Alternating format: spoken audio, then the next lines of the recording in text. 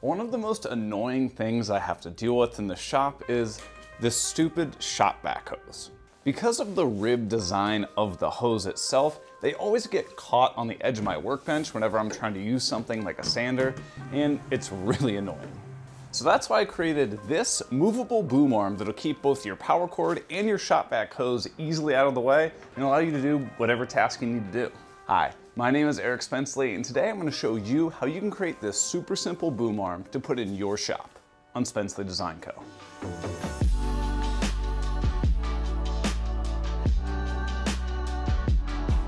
Right now, lumber prices are absolutely insane.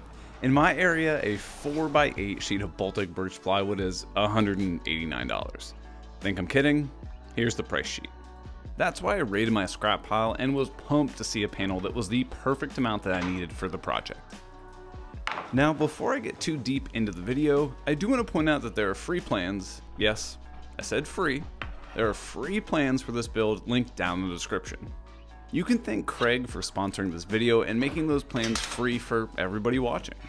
So instead of having to blast you with an obnoxious ad read about hair loss, life insurance, or shaving specific areas of your body, just check out the free plans link down below on Kreg's website and know that all the blue tools that I'm using here today are from Kreg.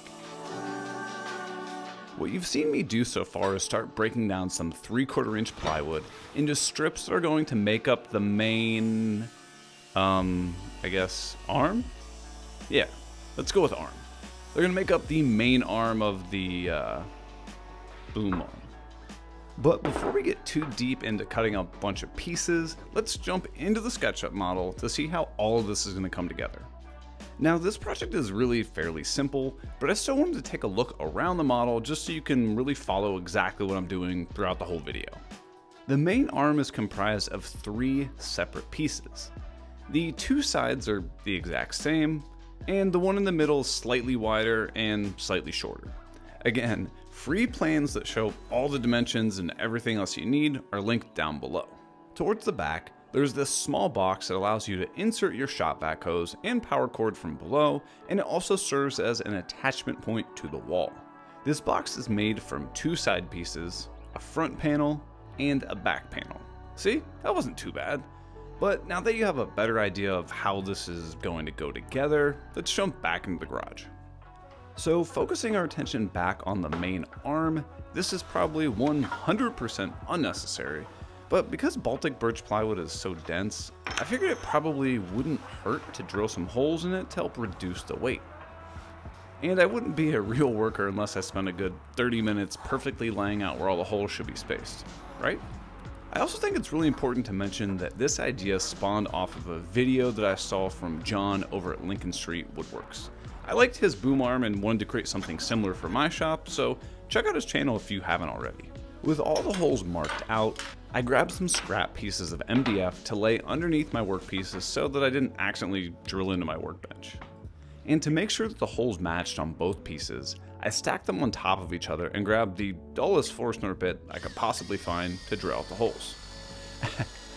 After 45 seconds, I wasn't really making much progress, so I figured I need to switch to a more powerful drill.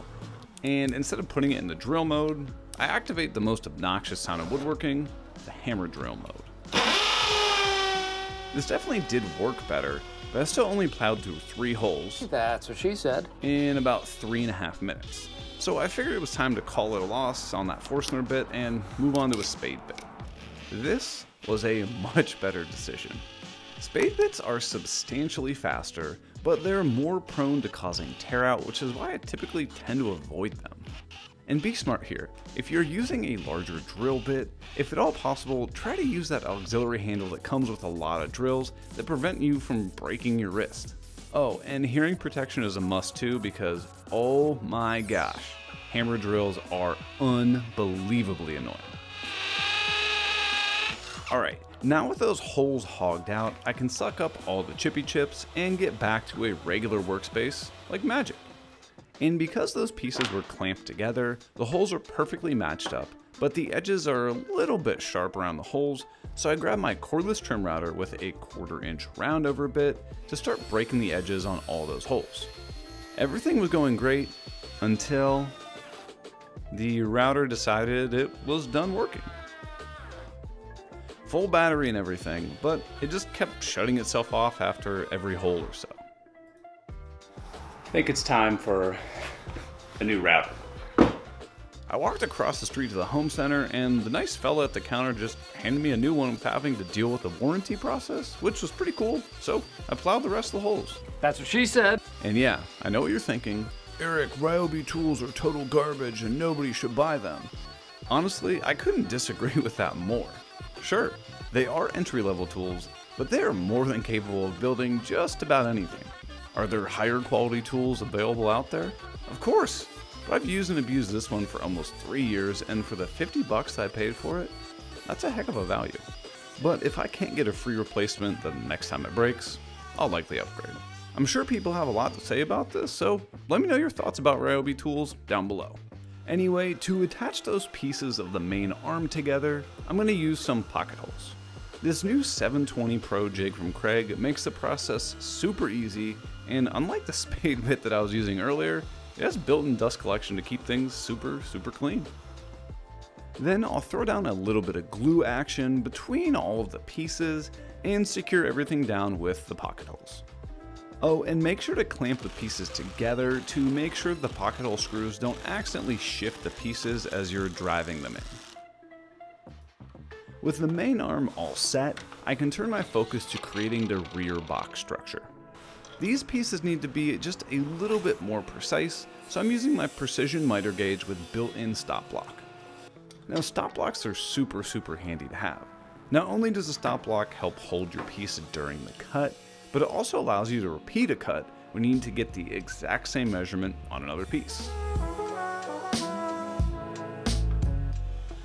All of the pieces for the rear box structure are going to receive some more pocket holes to help join everything together and just to give it a lot of strength.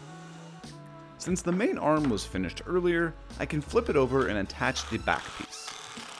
And then slide the other three pieces over top before firing in the rest of the screws.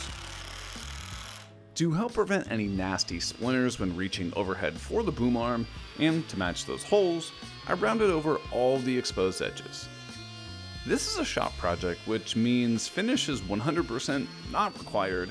However, I'm going to use some of this Total Boat Halcyon because it's really durable and dries super, super fast. I got this really cheap spray gun off of Amazon that works fine for shop projects like this, so I just sprayed on a couple coats and then let the finish dry for a few hours. Real quick, if you made it this far in the video, leave a comment down below that says milk. I read every comment that comes through, so when you write milk, it lets me know that you actually watched the video. So if you have any questions or just want to support what I'm doing here, comment milk down below and I promise I'll get back to you. All right, now back to the build.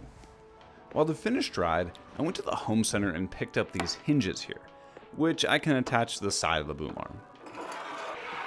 I also got one of these fancy self-centering bits that's perfect for pre-drilling holes in hardware like this. Then I just need to fire in screws to hold all the hinges securely in place before popping this bad boy up on the wall.